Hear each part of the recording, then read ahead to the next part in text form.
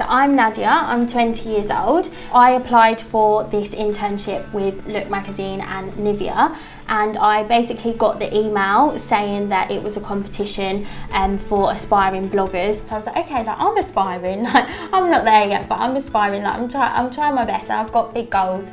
The reason why Nivea really love working with influencers is because in such a saturated market, it's really hard to cut through the noise, but influencers do this really well because they talk about the products in a really relatable way. Nadia was a perfect example of an up and coming influencer, not just because she's got her blog that started, but you can see the care that comes from her straight away when she starts talking about skincare.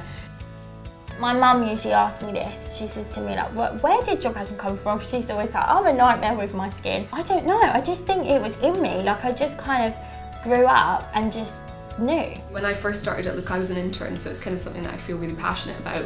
Um, I really wanted to have um, someone come in and really enjoy the experience that I had when I was here. I was only here for a month, um, so kind of along the same lines of what we were offering the winner. Being chosen has given me a big confidence boost.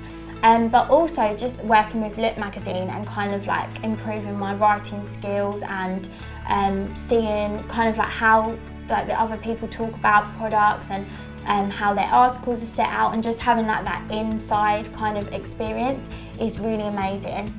She's already integrated really well with the team, um, which is you know quite impressive considering it's only been week one.